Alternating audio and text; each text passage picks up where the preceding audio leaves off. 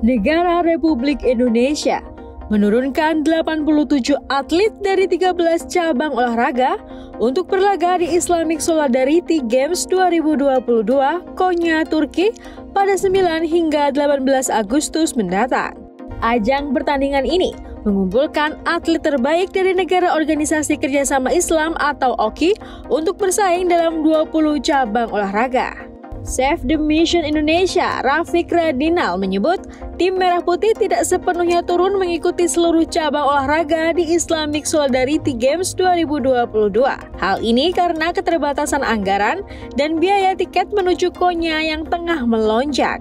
Dari 13 cabang olahraga yang diikuti, hanya 12 yang dibiayai menggunakan anggaran APBN. Sementara satu cabang olahraga lainnya, yakni tenis meja, meminta Komite Olimpiade Indonesia untuk berangkat dengan biaya mandiri.